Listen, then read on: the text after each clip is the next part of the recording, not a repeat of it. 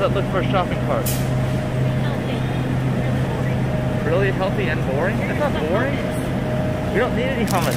Grapes, broccoli, mushrooms, blueberries, bananas, carrots. What could, what could be better?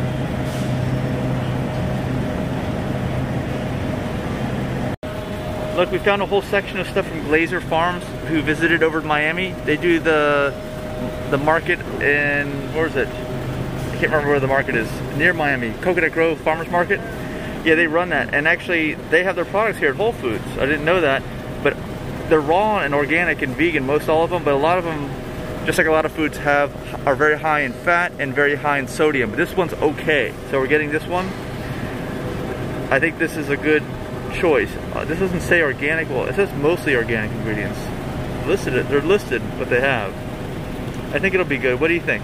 Yeah, I think it'll be good. You I think? heard it'll- that macadamia nut butter is the best nut butter to take for your health. Yeah, if you look at this, it's not not super high in fat, not super high, and sodium's low, so that's good. All right, so this is the rest of our stuff, and I, I didn't even know spicy has mild. Do they have different levels of spiciness? I don't even know, but this kind of completes what we have. Let me check to see if they have anything hotter than just mild. I'm not like, a fan of mild. Well, it turns out that's all they have is mild, and so we're done. I think we're gonna get, end up getting like 10 items for $80 because everything's organic, or this is non-GMO, right? I think it is. Yeah. All right, it was $83 with tax. So I was almost right. I guess I'm not retiring anytime soon. Whole paycheck.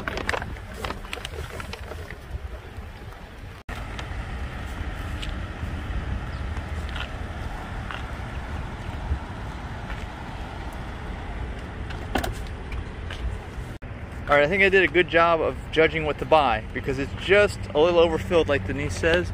But generally, if I if I shake this thing like this, the ice, believe it or not, there's always space in between the ice, and it settles. I gotta keep the cap off so the water runs out. What did I do with the cap? Did I have it in my hand? I saw it inside there. Did I lose it already? Uh, you stuck it on the ice. I did. Okay, I gotta find that now.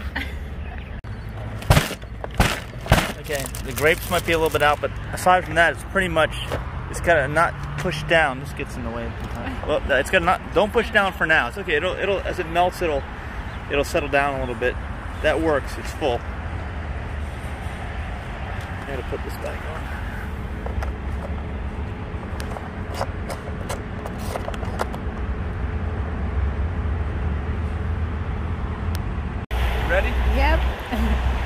Bend his knees and try not to have the key in my pocket, which it is because sometimes it'll shut the door on you. it flexes in, it pushes the top, and everything shuts. So I'm trying to do that, so it's better to leave it on the ground.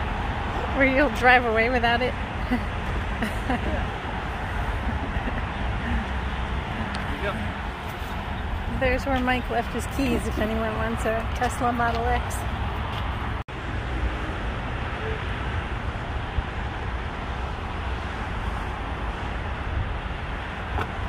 Good.